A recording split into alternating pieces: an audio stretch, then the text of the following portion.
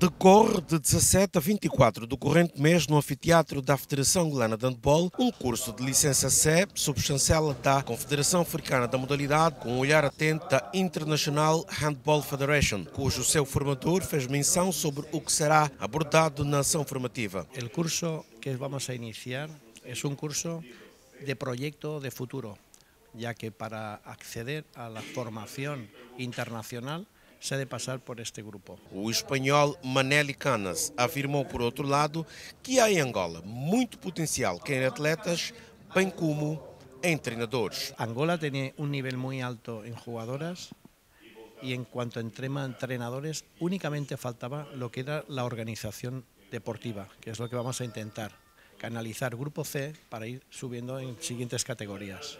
Para o presidente da Federação Angolana de Handball, José do Amaral Júnior, Maninho, esta ação formativa é de capital importância porquanto há, de parte da federação mais titulada do país, um grande interesse em se conformar um instituído pela IHF e, consequentemente, proporcionar maior qualidade aos técnicos angolanos. Nós acreditamos que agora a qualidade dos técnicos de handball uh, será maior e com isto ganha o nosso handball, sobretudo ganha o, a qualidade de, de, dos nossos praticantes. Portanto, nós queremos que a base do nosso handball, sobretudo os escalões de formação, tenham técnicos bem formados, porque é aí que devemos começar a investir para evitar que as nossas crianças, depois, quando chegarem a senhores, tenham, pratiquem demasiados erros técnicos. O Costa Marfinense Kevin Coman, que pertence ao Departamento de Formação da CAB, também faz parte do leque restrito dos monitores desta formação.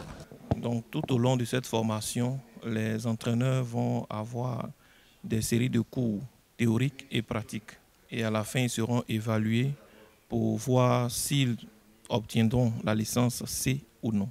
Donc voici un peu ce qui va se faire tout au long de cette semaine euh, durant ce stage. A coordenadora da ação formativa, Nair Almeida, que é igualmente a vice-presidente da Federação Angolana de Handball, augura uma experiência única e exitosa. De cariz bastante importante, uh, esta formação para a obtenção da licença C uh, IHF como é de conhecimento de todos os amantes da modalidade, uh, a partir deste ano uh, só serão permitidos para os selecionadores nacionais e para os treinadores que tenham equipas uh, que participem em competições internacionais, será de obrigatoriedade terem pelo menos a licença C. Nós estamos a começar este ano e, claro, queremos chegar até Uh, a licença A, que é, é, é, a licença mais alta a nível da Confederação Internacional de Handball, da Federação Internacional de Handball. Durante oito dias, mais de 30 formandos vão participar do curso de treinadores de handball para aquisição de licença C, numa promoção da Federação Angolana da Modalidade, organização da Confederação Africana de Handball com carimbo da Federação Internacional. Os técnicos angolanos Felipe Cruz e William da Almeida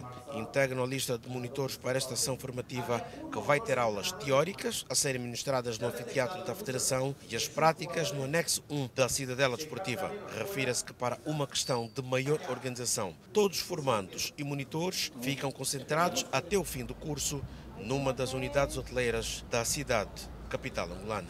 Juntos unidos para andebolizar o país. Patrocínio Total Energia, Endiama, Catoca, Sonangol, Unitel, Sonils, Bye e pura.